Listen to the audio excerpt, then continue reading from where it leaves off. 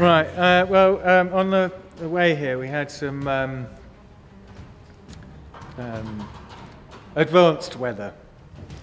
And um, Sarah, who uh, was with Nathan in that, uh, Nathan decided to um, turn back, which is always a good decision. You can never criticise that as just being safe.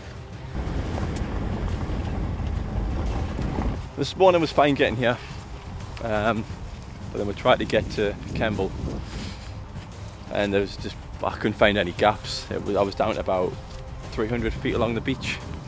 Uh, with carrying a passenger, I wasn't worth risking it, so I went as far as I could until I saw where the high ground was, and I couldn't see the top of that, so I just turned back, came back to this airfield, um, looked at the weather radars again.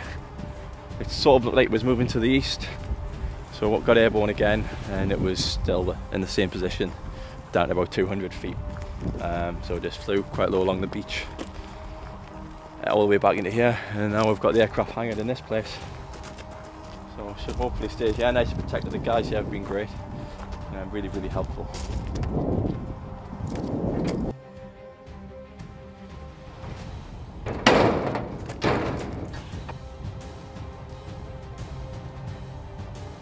We tried twice. Um, so the first leg was great. Then we, we came here, had a break, tried again. It wasn't so good. After about 40 minutes, we came back, waited a bit more, and tried again. So I've had lots of goes. I can just sit that up myself now. no, it was really good. Got one aircraft missing. It is still at Ince. We get that tomorrow or the next day. There's nothing wrong with it. Um, so that's pretty good. It's gone very well, and it's longer. It's the longest trip we've had, and everyone still gets on well. And it's a really, really good team. And every time we have one of these expeditions, the team gets stronger and stronger and stronger, which I think will be absolutely essential for our ultimate goal of getting to the South Pole. Hopefully.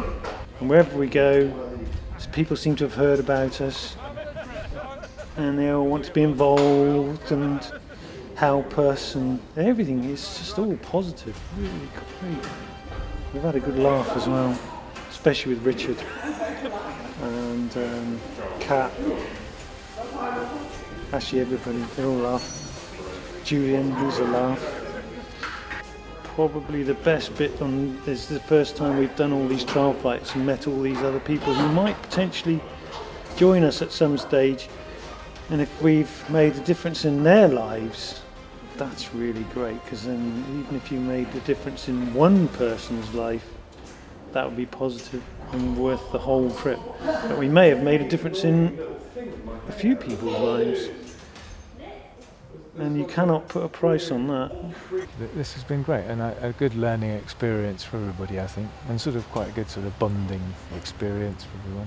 So, uh, and I must say, I mean, you know, it's one thing for me to come along and fly around a bit and help out and be a mentor and that sort of thing, but, but James and Sharon and the girls and all that stuff, they've been driving for miles and miles.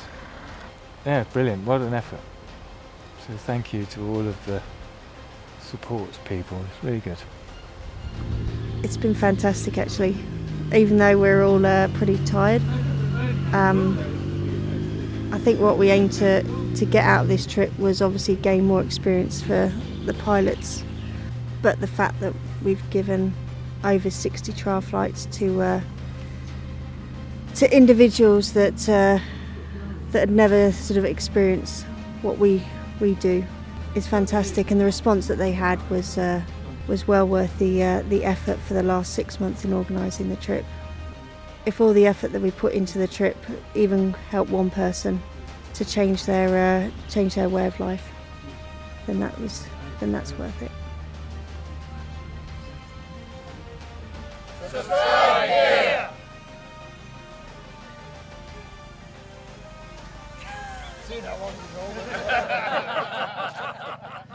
Thank you very much.